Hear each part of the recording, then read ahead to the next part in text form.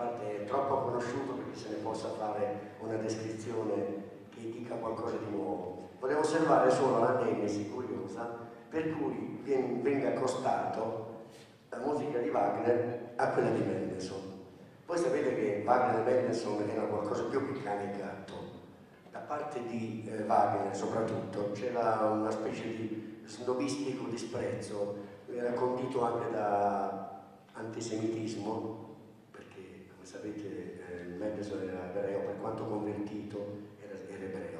La cosa curiosa è che non tutti sanno che probabilmente anche Wagner è mezzo ebreo, proprio in ebreo, perché suo padre, suo padrigno, l'attore Ludwig Geyer, era in realtà forse il vero padre, non si sa, ci vorrebbe un DNA in Italia, ma non ha importanza, non è la razza che conta, è la cultura alla quale non si abbevera o altro.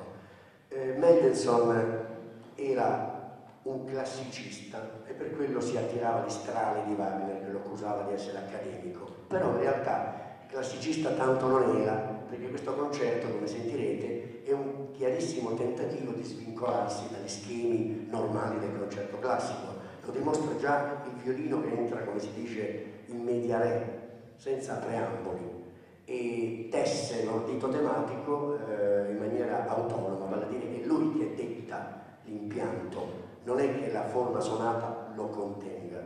E poi i movimenti eh, vengono uniti insieme, cementati insieme da delle piccole transizioni molto efficaci che piuttosto che un concerto girano l'impressione di una grande rapsodia di motivi che si compenetrano e si, diciamo, e si completano anche a vicenda, una specie di partogenesi di motivi che si rigenerano continuamente. Certamente questo è un grandissimo autore eh, ed è un peccato tutto sommato che venga eseguito così poco, anche in occasione del centenario.